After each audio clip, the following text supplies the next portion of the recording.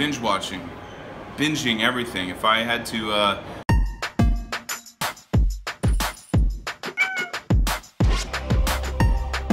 I'd probably binge on a show that I've never seen before, something classic, something from the old days, you know, something like um, MASH. And then uh, I would I would probably just sit there with my wife and uh, we would have uh, Mexican food. I'm a, I'm a big fan of Mexican food and you know whether or not I'm hungry, I'm definitely binging on Mexican food any day of the week. Seriously,